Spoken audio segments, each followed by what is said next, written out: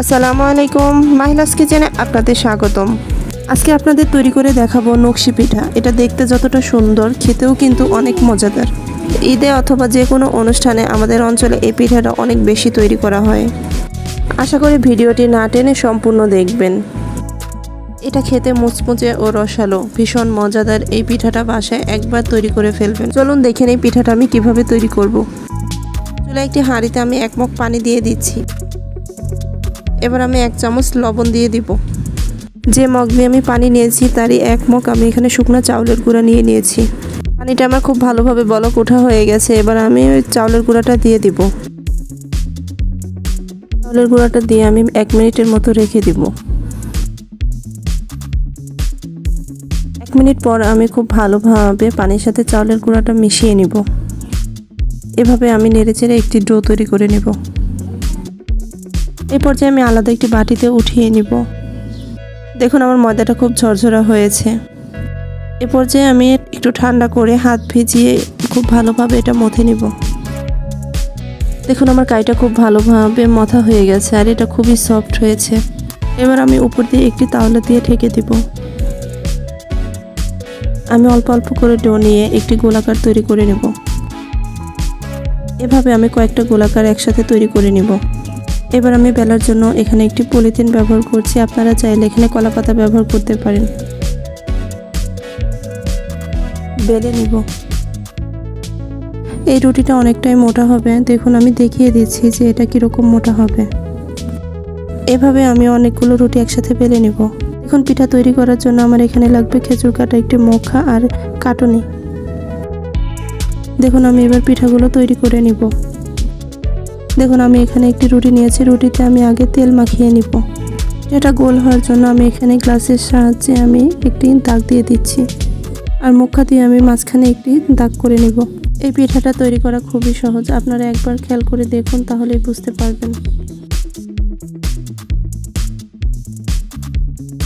এটা খুব বেশি কঠিন না। আপনারা বাসায় একবার, দুইবার ট্রাই করলেই পারবেন।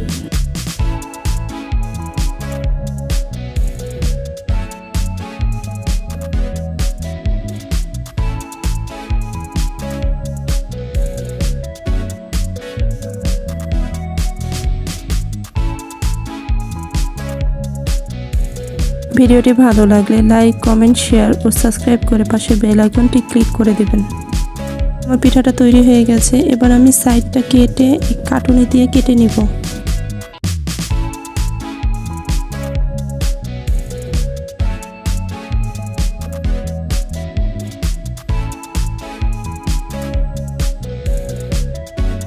দেখুন কত সুন্দরভাবে আমার একটি পিঠা তৈরি হয়ে গেছে। এভাবে নিজেদের পছন্দ অনুযায়ী বিভিন্ন রকমের নকশা তৈরি করে নিতে পারবেন। দেখুন, এভাবে আমার সবগুলো পিঠা তৈরি হয়ে গেছে। দেখুন, পিঠাগুলো দেখতে কতটা সুন্দর দেখা যাচ্ছে। এবার আমি পিঠাগুলো ভেজে নেব। চুলায় একটি পাত্রে আমি তেল দিয়েছি। এবার আমি পিঠাগুলো ডুবো তেলে ভেজে নেব। পিঠাটা দেওয়ার কিছুক্ষণ পর আপনি এটা একটু নেড়ে চেড়ে উল্টে দিবেন।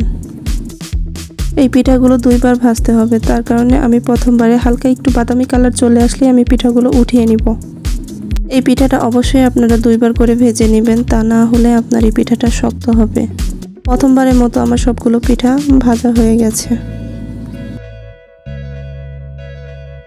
এ পর্যায়ে আমি একটি পাতিলে গুড় নিয়েছি। গুড়ের মধ্যে আমি তেজপাতা আর দারচিনি দিয়ে দিব আর এখানে হাফ কাপ পানি দিয়ে দিব। এবার আমি খুব ভালোভাবে গুড়টা জাল করে নিব। দেখুন, আমার গুড়টা হয়ে গেছে। এ পর্যায়ে আপনারা হাতে নিলে বুঝতে পারবেন যে গুড়টা খুব আঠালো হয়ে গেছে। এখন আমি গুড়টা চুলা থেকে নামিয়ে রাখব।